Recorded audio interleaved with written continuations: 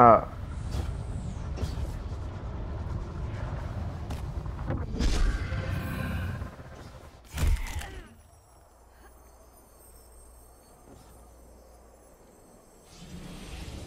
yeah, I'm seeing this technique he's using. He's like uh, making a circular, a very small circular cut on like tomatoes, right?